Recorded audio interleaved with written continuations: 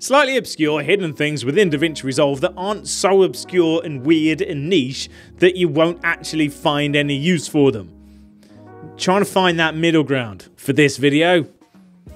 Brought to you by our good friends over at Motion VFX. Chapters are down below, I've named them all properly, so you can skip ahead if you want to.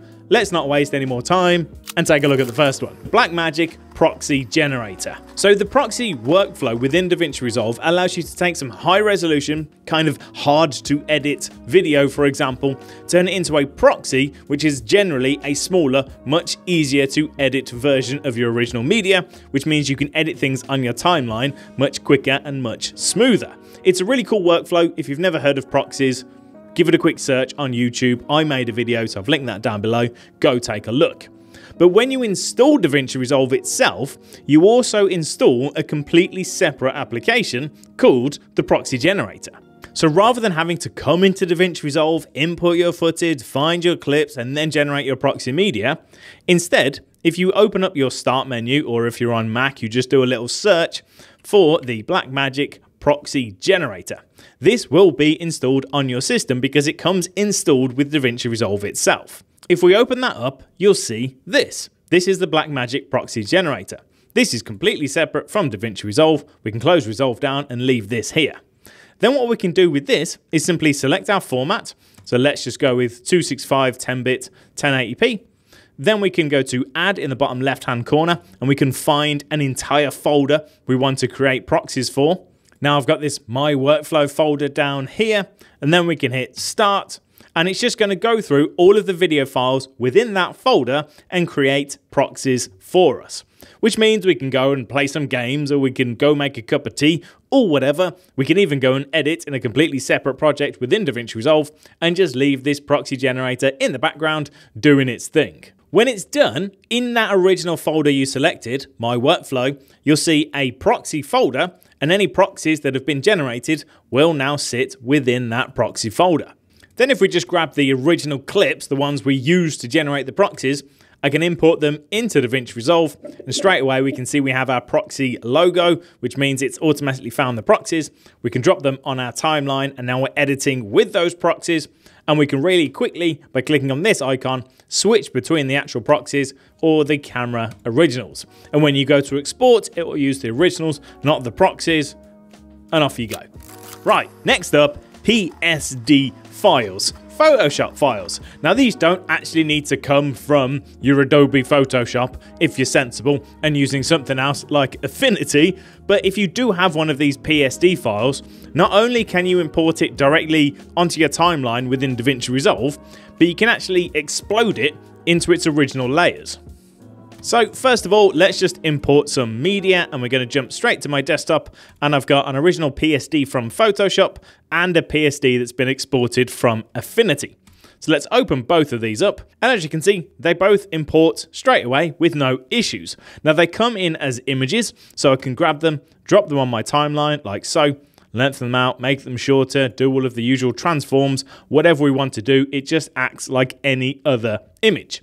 But now if we right click on that PSD on the timeline, there is an option right at the very top, split PSD layers in place. And that will explode that Photoshop file into its original layers, providing those layers were kind of saved when the PSD was exported. We even get the layers which were disabled. I can delete those if I want to. We can move these down. I can disable this one, which is the background. We've got our different text. We've got our logo. We've got my big stupid face and you can just do what you like with those. You could even come in and animate any of the different elements, do the things that you need to do. It's pretty cool. Next up, reference compositions. Now, once again, I have made a video all about these linked down below and these can get quite complicated if you try and do some really fancy stuff with them but let me just show you what they do in their simplest form now these are particularly useful if you do a face cam, corner cam, webcam kind of thing. You put your face in the corner and you want to make a reusable asset that you can use basically in any project going forwards. Now the easiest way to do this, let's just grab a clip, put it on my timeline, then we can right click that clip on the timeline and there is an option, create referenced composition. As soon as we do that, we get to give it a name. So I'm going to call this face cam and then create. And that will actually create this face cam, this new asset within the bin you currently have open. And you'll see this jazzy, sparkly little icon. That means that this is a referenced fusion composition. Now it won't look like much has changed, but if we right click on that clip on the timeline and then we open in the fusion page, we can start to do some fusioniness to this. So all I'm going to do really simply is grab a transform, we'll bring this down onto the line and then just do a size and let's put this in the top right hand corner. Now let's also just grab a drop shadow. So I'm going to hit shift and then space to open up our little search. We'll search for drop shadow. There it is. We'll add this down here. So now we've got a drop shadow on there just like so. Now if we jump back to the edit page, there we go. We can lift this up, we can put another clip underneath, and we have our little face cam. But this is where it gets interesting. We can delete all of that. Let's just grab a completely different clip and bring this on the timeline. Now, if we find our face cam within the media pool, single click so it's highlighted, you'll get this little red box around it. Then go to our clip on the timeline, right click, there is an option, link to referenced composition. And that will just apply the exact same thing we created a moment ago. So we can lift this one up. Let's put something else underneath. There we go. We have our face cam with our drop shadow. Now let's just grab this once again, put this somewhere else on the timeline, and then we can do the same thing to this other clip. So we find the face cam, single click, find the clip on our timeline, right click, link to referenced composition, boom, we now have face cam. So anytime we want to do it, we can. Now, what we can then do is if we find one of those clips which has that referenced composition, or alternatively find our face cam within our media pool, right click, open in the Fusion page. Then if we go to transform, and let's just put this over on the left instead, jump back to the edit page, our face cam is now on the left. But so is this one.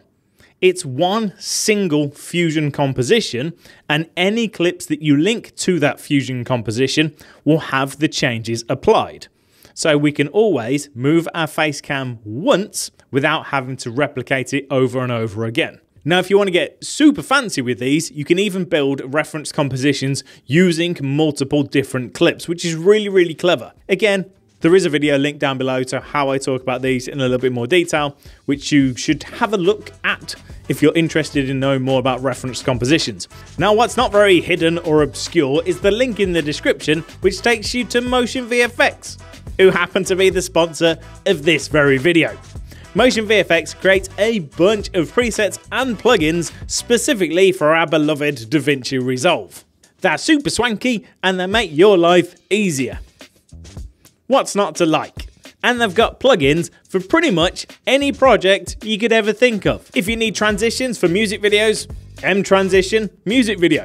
If you do fancy dining or cooking videos, M Dining. If you do wedding videos, there's M Wedding and M Wedding 2. Or if you just need the essentials to get you started, why not check out M Tuber 4 or M Essentials. I love a bit of motion VFX if I want to add some jazz to any of my videos. Drag, drop, customize, done. Easy peasy. So give that link a little click if you fancy checking out motion VFX for yourself. Hmm. Right now, this one is studio only. This is the only studio one I included in this, so it's not available within the free version. You need to be on the paid studio version, but it's called audio classification. And it is quite cool. And I'll be honest, I always forget that it's there. It's not something that really kind of falls into my workflow all that much, but it's worth talking about because it is forgotten about and it is quite cool. Hmm. So I've got this folder here called sounds and within this we've just got a bunch of different audio clips and there's actually some video clips within here as well. There's some dialogue, there's some music, there's some general sound effects, impacts, whatever else. Now what we can do is highlight all of this audio, right click, come down to the AI tools and there is audio classification and then analyze. Now this is generally really quick. The speed will depend on your system and the length of the clips included and whatever else. But there you go. As you can see, it's done that for me. Now this does two separate things. The first thing it does, if we click on one of these, so I've got this one here, which is a dog barking, then open up the metadata, top right hand corner, click on this little icon, and then select audio to go to the audio category. And what it's done is it's put the right category so it knows this is an audio effect rather than dialogue, music, or silence. But it's also done these subcategories. It's identified that it's a dog barking, so now we've got dogs and animals. Now, rather than having to do that individually, if we open up these smart bins, which if you don't see smart bins within your media pool, simply click on these three little dots and show smart bins. And then within here, expand collections. Now we've got things like video clips and audio only, which all does exactly what it says on the tin. But now we've also got dialogue, and all of my spoken word audio clips will be in there. Music, all of my music has been automatically categorized into music, sound effects, silence, and uncategorized.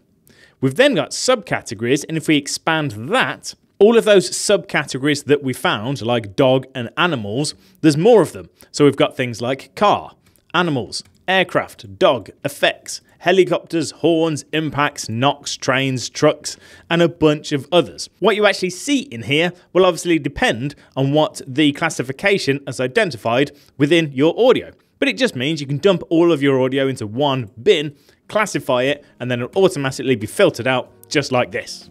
Sticking with the audio theme, we have layered audio editing.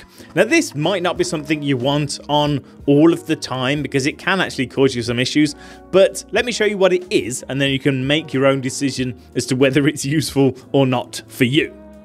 So I've got this clip on my timeline, it's video and audio as you'd expect. Now if I was to go and grab any other piece of audio from my media pool, let's just say this song here, bring it on my timeline. If I was to move this up and release and then bring it down, the audio from that original clip will be overwritten. That's kind of the default expected behavior. That's pretty common in all editing suites, to be honest. That's kind of how this stuff works. But if you click on timeline at the very top, then go to audio, there is an option layered audio editing. You can also find this within the keyboard customization and add a keyboard shortcut if you like, which I've done, Alt and J. So if I enable this layered audio editing, do the exact same thing, bring this track down, put it above, release my mouse, then grab it and move it back, it doesn't actually override the audio. It layers it, it stacks it. So you can never actually overwrite that original audio. And we can do this multiple different times. Because it's creating layers rather than just overwriting things. Now this is particularly useful if you've got a bunch of different audio to make up your A-roll audio because you may grab something, bring it down, and want to fine tune it. And if you move it too far to the left and then you go back to the right, there's a big gap here. But by enabling your layered audio editing, you can move this to get it in completely the right place and never have to worry about accidentally deleting something. Now, just to be super clear with this, when you put an audio clip above the other one, you cannot hear that original audio. Even if you were then to disable this new one on top, you would just hear nothing. But if we move it out the way, our original audio comes back. Text box, aka wrap text. You can wrap text. They introduced this a few versions ago in DaVinci Resolve. I have mentioned it in the past, but just in case. From the edit page, if you open up titles and then come to text plus, what's going on here? There you go. Text plus, this one, drag it onto your timeline, give it a click, open up the inspector, put whatever you like in here. Let's make this nice and long like so. Then go to layout, change this type from point to text box that puts a text box around all of this text. You then have the option to wrap to text box, which will actually do proper text wrapping. If you click on the little drop down box and come down to Fusion Overlay, you can then see that text box. So you can make it bigger or smaller. Now, as you can see, when I make this smaller, the text is still appearing above or below it. So we're wrapping the text, but we're not clipping to the text box. If you want that to happen, you just tick clip to text box as well. And then that will show you the text which is currently being clipped, aka hidden. But if you make this bigger, it will then appear. Nito Benito. Video collage. Collage. Collage. Split screen. essentially. It's a split screeny thing. There's actually an effect built onto the edit page within the effects library, which allows you to do split screens and video collages really quickly and easily, and it has some neat stuff in it. This probably needs its own video, to be fair, which I may make in the future. If you want to see it, let me know. But let me show you really quickly what it does, because it's quite cool. And again, easy to miss. So on the edit page, in the effects library, Resolve FX, let's click our little magnifying glass, and we're going to search for video collage. Now, if I grab this effect and drag it onto my first clip over here, like so, it will look a bit weird. Now, what you essentially have to do is use one clip to build up your video collage. So we've got workflow, create background. We're going to change this to be create tile, and it's going to put this first clip in this tile. Then we can choose however many columns and rows we like. Now, to make your life easier, once again, click on this little drop down underneath your preview screen and change this to be the Open Effects overlay. And now you can actually see what we're working with. So we can increase the columns, the rows, we can stagger them, we can round the clips within them, we can change the margins, do all of this stuff here. Now I recommend you just do all of these globals once. Do it on your first clip, get them looking however you want it to look. Then you can jump over to tiles. This is our active tile 1. This one, top left. But if we wanted to move this to tile 2, tile 3, tile 4, we can just simply select this little drop down box.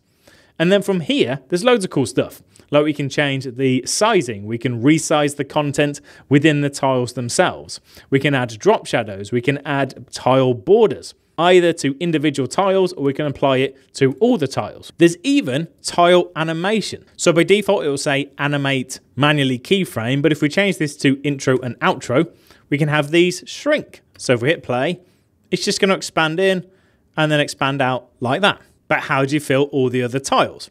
Well, if we stack a bunch of clips on top of each other, just like this, so we've got our four clips, then click on our first one and we'll do a copy, Control and C, and then we can click on our other ones and do an Alt or Option and V to paste attributes. Now what I'm going to do is click all video attributes and then untick it to make sure nothing is currently ticked.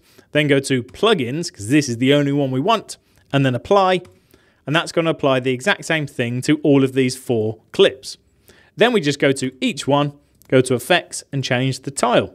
Tile 2, this one can be tile 3, and this one can be tile 4.